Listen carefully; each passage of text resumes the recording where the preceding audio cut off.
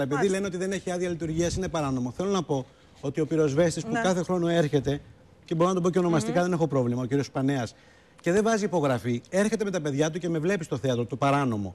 Παρ' όλα αυτά, μάλιστα. παρόλα αυτά, δεν βάζει υπογραφή να μπει και ο άλλος ο κόσμος νόμιμα να δει την παράσταση. Ωραία. Και θέλω να πω, ο ίδιος πυροσβέστη. Αυτός είναι ο παραλογισμός Να του σου πω, ελληνικού ναι, τον δημοσίου. παραλογισμό. Πολύ γρήγορα. Ναι. Κάθε χρόνο ο ίδιος πυροσβέστη έρχεται. Τη μία χρονιά ζητάει Ναι. πυράντοχες πόρτες. Τις βάζουμε. Την άλλη πυρανίχνευση. Τη βάζουμε. Ναι. Μαζί ζήτησαν να βάλουμε κουρνό έξω από το θέατρο. Λέει, τι θέλω να ανοίξω πυροσβεστική δική μου δίπλα στο θέατρο; δηλαδή θέλω να πω ότι ο ίδιος άνθρωπος κάθε χρόνο ζητάει άλλα. Δεν μου λέει φτιάξω όλα αυτά να έρθω να τα ελέγξω. Καλά ξεμπερδέματα. Λοιπόν, το την θέατρο, παράσταση να δούμε εμείς το καλοκαίρι που την περιμένουμε ο πώς μάγος και του πώς. ροζ, Ο κόσμος μπορεί να έρθει Μάλιστα. άφοβα